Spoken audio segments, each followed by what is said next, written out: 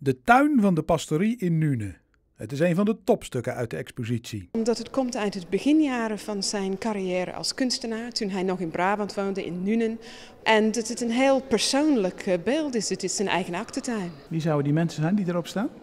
Dat weet ik niet precies, maar ik denk dat er een hele goede kans dat het familieleden zijn. Zijn moeder of zijn zus. Het schilderij is zelden te zien. Het zit in een privécollectie. Dus normaal gesproken hangt het dit bij uh, iemand thuis, als het ware. En het wordt niet vaak tentoongesteld. Dus dat het hier nu in het Noord-Brabants Museum hangt uh, voor deze tentoonstelling is heel bijzonder. De tentoonstelling gaat over de eerste jaren van Van Gogh. Allemaal Brabantse onderwerpen. Een watermolen, boerinnen. Ze zijn vaak donker. Ook omdat Van Gogh oefende met landschappen in de schemering.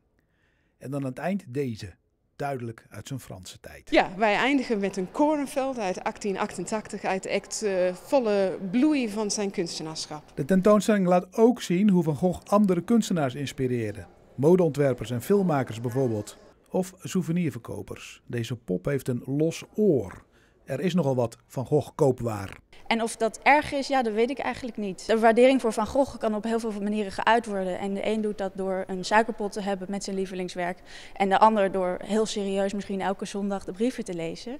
Uh, ja, mensen uh, geven uiting op verschillende manieren aan hun liefde.